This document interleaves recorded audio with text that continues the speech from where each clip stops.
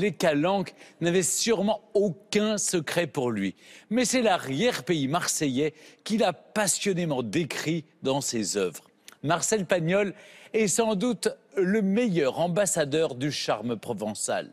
Des collines odorantes à la petite ville d'Aubagne, c'est son portrait que vous allez nous dresser maintenant, Laura. Un poète, un écrivain, un cinéaste. Avant d'être tout ça, Marcel Pagnol, c'est quand même la personne qui parle le mieux de la Provence, qui parle le mieux de cette ville fantastique qu'est Marseille.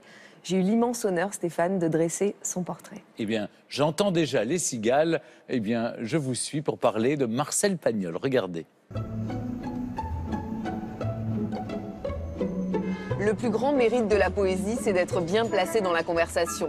Cette phrase est signée Marcel Pagnol, lui qui savait si bien jouer avec les mots dans ses œuvres littéraires ou cinématographiques. Comment évoquer cet amoureux de la Provence sans se rendre ici, sur le vieux port de Marseille, où j'ai donné rendez-vous au petit-fils de Marcel?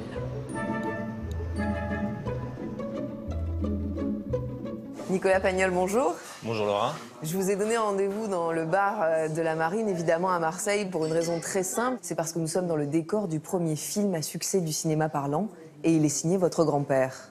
Marcel Pagnol et Alexander Corda. Parce que c'est Corda qui a appris à Marcel à faire du cinéma. Corda faisait du cinéma muet, mais Pagnol savait faire parler les comédiens parce qu'il venait du théâtre. C'est une révolution pour l'époque parce que premièrement on parle de Marseille, mais Marseille c'est très loin de Paris. En, en, 1931. Euh, il n'y a pas encore les congés payés. Donc c'est une bouffée d'oxygène, presque d'exotisme pour les Parisiens. C'est avec les films Marius, puis Fanny et César, rebaptisés la trilogie marseillaise, que Pagnol fait découvrir son vieux port, ses marchés aux poissons, l'accent des sudistes et ses parties de cartes si chères à son cœur. Tu me fends le cœur. Allons, César. Il n'y a pas d'allons, César. Tu me fends le cœur. Tu me prends pour un imbécile? Tu l'as dit, il nous fend le cœur pour lui faire comprendre que je coupe à cœur. Et alors il joue cœur par bleu. Tiens, tiens, les voilà tes cartes. Hypocrite, tricheur. Je ne joue pas avec un grec. Le rapport que Marcel entretient avec la Provence un rapport fusionnel comme celui d'un artiste et de sa muse. Ce petit territoire est intrinsèquement lié à, à la découverte de sa vie, de la vie. C'est une source d'inspiration inépuisable chez lui. Mais les, le vieux port aussi, Marseille aussi. Je pense que Marseille est provençal de par son attachement aux collines et il est latin de par son attachement au vieux port. Nicolas, on trinque à Marseille, ses amours, ses collines. Allons-y, un petit jus de soleil comme on dit, ça lui va très bien je trouve. Pour remonter le cours de l'histoire de Pagnol, il faut se rendre à quelques kilomètres de Marseille. Je suis né dans la ville d'Aubagne, sous le Garlaban, couronné de chèvres au temps des derniers chevriers. C'est ainsi que Marcel Pagnol définit la ville qui l'accueille le 28 février 1895. Voilà, nous sommes dans l'appartement de la famille Pagnol qui se trouvait au troisième étage de cet immeuble bourgeois. Un modeste appartement vous voyez, en, trois parties. Hein, euh, euh, Donc là, l'espace chambre L'espace chambre. Euh, il rentré carrément dans la chambre à coucher. Hein. On sait que le père de Marcel Pagnol était instituteur, sa mère couturière. Est-ce que ce petit garçon a eu une enfance heureuse? Bien sûr qu'il a eu une enfance heureuse, parce qu'il était bien encadré par deux parents aimants, le papa instituteur qui était toujours derrière lui hein, pour essayer de, l'instruire le plus possible. Hein. Il était toujours en train de lui poser des questions, de lui raconter euh, des choses. Euh, voilà. Bien là, nous pénétrons dans la pièce à vivre. Hein. La pièce à vivre, bien avec tout ce qu'on y mangeait, on y, on y créait, puisque euh, Augustine cousait dans cette pièce. Alors après, vous voyez, elle, elle, réalisait également les petits costumes marins. Donc c'est ce que Marcel portait quand il allait à l'école Oui, avec ses petits camarades. Hein, C'était le costume traditionnel euh, du petit écolier. C'est avec sa mère bien-aimée, son père, son petit frère Paul et sa petite sœur Germaine que Marcel Pagnol va vivre les années les plus marquantes de sa vie, au début des années 1900. Non loin de là, dans le village de la Treille, au pied des reliefs de la Provence. C'était une villa dans la colline, juste au bord d'un désert de garrigues, qui va d'Aubagne jusqu'à Aix. C'est ainsi que Marcel Pagnol définit la villa de ses vacances, source de son inspiration. C'est avec Joseph, l'un des guides touristiques de la ville et passionné de Marcel Pagnol, que je découvre un peu plus l'attachement que l'écrivain portait à cet univers. Voilà, vous arrivez donc à la Bastille de Neuve des vacances, enfin, ce qu'il en reste. hein. C'est c'est là que Marcel Pagnol a passé toutes ses vacances, de 1904 à 1910.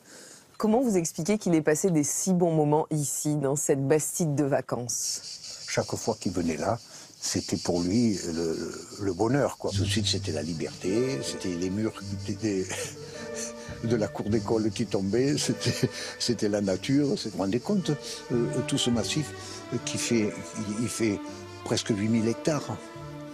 C'est grand pour des jambes d'enfant, mais c'est petit pour la notoriété que ça. Des massifs que Marcel Pagnol explore avec son ami paysan Lily. Grâce à lui, il va découvrir un monde qui lui est totalement inconnu. Qu'est-ce qu'il y faisait pendant ses vacances concrètement, Ah Marcel ben, euh, vous savez, euh, il, le- le- souvent, très souvent, il allait avec Lily. Lily, dans les collines, il partait pour la journée. hein. et il posait des pièges et il lui apprenait la faune, la flore, la vie pastorale, la vie, la vie paysanne. Il lui apprenait tout ça. Marcel connaissait tout exactement comme Lily. Il lui avait tout transmis. Est-ce que selon vous, les souvenirs d'enfance qu'il a eus dans cette villa, ça a contribué à sa construction intellectuelle?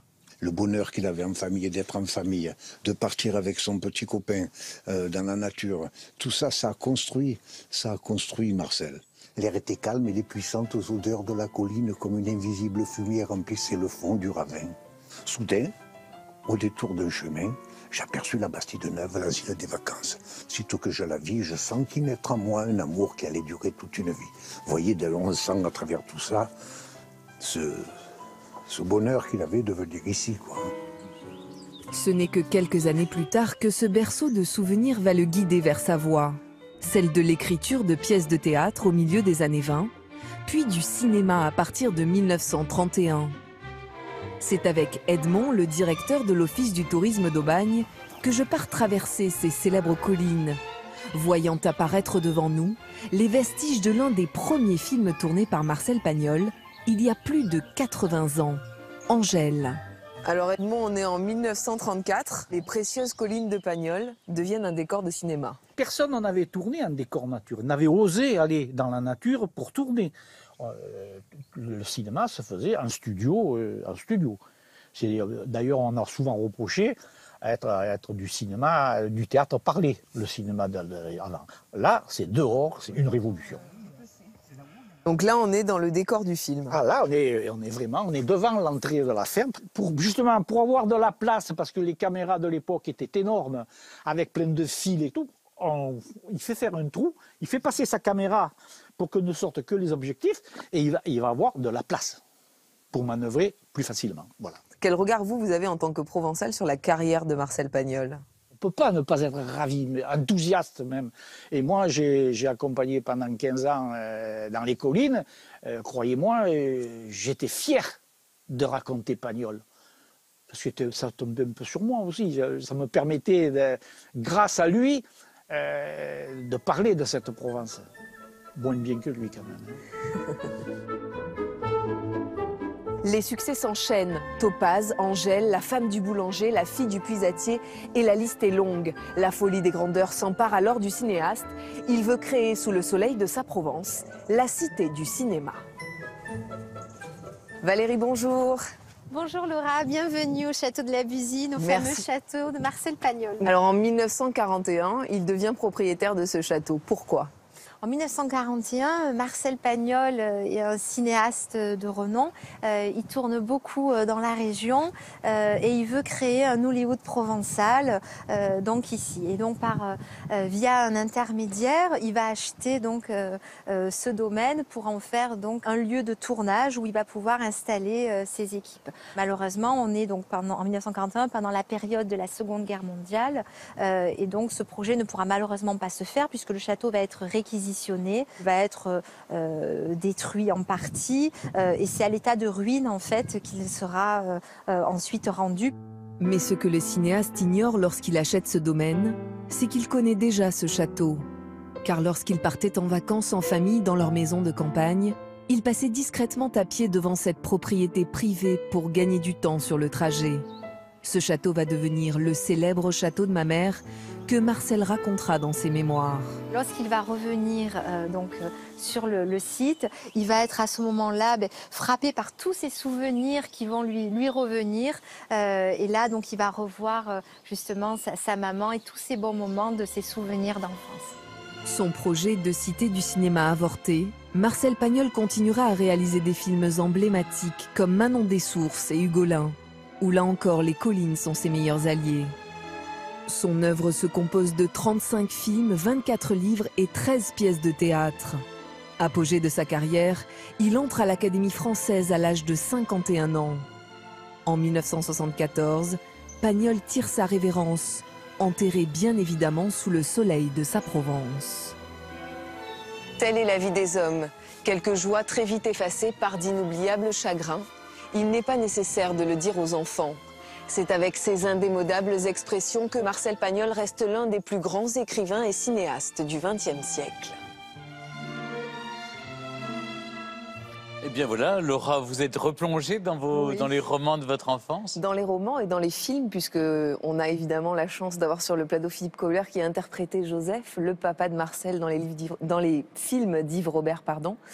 Euh, D'ailleurs, j'avais une question pour vous. Oui. Euh, Marcel Pagnol disait que s'il était peintre, il aurait été portraitiste. Est-ce que vous, dans les scénarios justement de la gloire de mon père et du château de ma mère, vous avez senti cet amour des mots et, voilà cette justesse qu'a Marcel Pagnol pour décrire les gens? Quand on m'a proposé le film, j'étais méfiant. Parce que je pensais que ces livres qui avaient bercé mon enfance étaient euh, inadaptables, quoi, que c'était pas possible. Et quand j'ai lu le scénario, qui était un scénario d'Yves Robert et de Jérôme Tonnerre, j'ai retrouvé, j'ai une remontée, mais vraiment psychanalytique et proustienne. J'ai retrouvé l'émotion euh, que j'avais quand j'étais enfant et que je lisais ces, ces livres. Ils, ont réussi l'impossible, c'est-à-dire adapter l'histoire du bonheur. C'est ce qu'il y a de plus difficile. Et hum, je dis toujours y, qu'il y a deux enfances pour les gens, les petits, les petits provençaux et les petites provençales. Il y a la leur et il y a celle de Pagnol. Et on ne sait pas très bien laquelle est la plus vraie. Mais on se reconnaît dans l'œuvre de Pagnol. On sent qu'il a été inspiré par, euh, par la Provence. Mais il a, je crois qu'il a vraiment euh, incarné, inspiré, décrit et fait vivre l'âme, euh, vraiment l'âme provençale. Mais c'était à la fois plein d'admiration, il y avait quelque chose de mélancolique aussi. Vous le ressentez, vous Bien Philippe sûr. Aubert Et d'ailleurs, euh, je trouve qu'il y a une parenté entre l'enfance telle que Proust l'a décrit dans La recherche du temps perdu, qui est souvent très amusant, très drôle, contrairement à ce qu'on peut penser, et, comment, et le regard d'enfant que Pagnol euh, décrit dans les, dans Mm. les souvenirs de- d'enfance. Moi, j'ai un petit cadeau pour vous, Philippe Cobert. C'est euh, euh, deux versions de La gloire de mon père et du château de ma mère en bande dessinée. J'espère que ça va vous replonger euh, voilà, dans, dans les films que vous avez, que vous avez magnifiquement joués. Eh ben, merci beaucoup, ça me fait très très plaisir. Mais alors, ce qui merci. est incroyable, Laura, c'est que l'œuvre de Pagnol euh, continue à vivre Complètement. et à produire. On voit euh, Daniel Auteuil, tant d'autres. euh, ce sont, C'est ce c'est un exemple pour les contemporains et je vous avoue que ça ne m'étonne pas trop puisque moi je suis assez admirative euh, de, de, de l'œuvre de Marcel Pagnol. À Aubagne, il y a énormément d'endroits qui rappellent Marcel Pagnol. Heureusement, c'est bien. Les touristes du monde entier viennent justement dans cette région pour découvrir la ville de Marcel Mais Pagnol. il y a des circuits, Marcel Il y a Pagnol. des circuits, effectivement, Ah oui. alors qui sont, euh, qui sont effectivement de plusieurs kilomètres, des circuits de rando. On revient à Mais la alors, ce qui est randonnée. incroyable, moi, ce qui me frappe, c'est que on- vous nous avez montré des collines là. Oui. Ces, collines, elles sont intactes. Les collines, elles sont intactes et elles appartiennent encore À à, la famille famille Pagnol, Pagnol. qui donne l'autorisation à la ville d'Aubagne d'exploiter ces circuits touristiques afin justement d'aller dans les, sur les lieux de tournage, comme je vous ai montré avec la ferme d'Angèle, euh, mais aussi dans la grotte de Manon des Sources. Euh, Il y a vraiment tout un parcours qui est mis en place. Ça va de 5 à 15 kilomètres, donc il y en a pour tous les niveaux. Euh, et c'est vrai que c'est extrêmement. C'est incroyable de voir un, auteur comme Marcel Pagnol, académicien, enfin voilà, un génie, il faut, faut Ouais, le dire. vraiment. Et comme il a été cinéaste, il a fait de Marseille aussi une ville du cinéma. Oui, oui, bien sûr. Ben, le- le- L'exemple, moi, qui me paraît le plus juste, c'est Chaplin. Il a réussi à Marseille ce que Chaplin a réussi à Hollywood, c'est-à-dire à véritablement être euh, maître, maître d'œuvre euh, de, de la fabrication des films, du, du début jusqu'à la fin, jusqu'à la distribution. Mais ce qui est extraordinaire, c'est que cette œuvre si particulière, si vraiment qui est complètement intime, qui est une- un petit bar dans un euh, et, et atteint euh, une Ça telle résonne, dimension. une résonance Elle- elle est incroyable. elle parle à tout le monde. euh, Les Américains comprennent, c'est un des comprend. rares, euh, des rares films qui ont eu des succès aux États-Unis. C'est incroyable. D'ailleurs, les films ont été rachetés aux États-Unis. Là, euh, Je crois que Jean de Florette, c'est l'un des, de plus grands Bien succès sûr, euh, euh, mais- encore euh, César, Marius et Fanny sont encore joués aux États-Unis aujourd'hui et c'est extrêmement apprécié. Moi, moi, j'aime bien, j'ai- j'aimerais qu'on conclue sur cette, cette phrase de, de Marcel Pagnol. À Marseille, je suis toujours enfant. À Paris, je suis vieux. Est-ce que vous qui jouez euh, en ce moment à Paris, mais qui êtes marseillais, est-ce que vous ressentez la même chose, Philippe Cobert? Écoutez, euh, Pagnol a écrit ses souvenirs d'enfance, il avait 60 ans et un peu plus. Et ça aussi, c'est très intéressant de voir qu'il a, il a fallu qu'il atteigne cet âge-là pour re- retrouver l'enfance et replonger. Il se trouve que j'ai 66 ans. Donc, euh, comme je joue sur la scène, euh, je ne suis pas Pagnol, hélas, mais enfin, comme je joue sur la scène mon enfance et mon, mon adolescence marseillaise, je pense souvent à, à Pagnol qui, qui a en effet euh, dû atteindre cet âge-là pour retrouver l'enfance. Et c'est une loi, je trouve, qu'il faudrait généraliser. Mais plus on avance dans l'âge et plus on, on a tendance à mieux comprendre Pagnol. Ouais. Oui.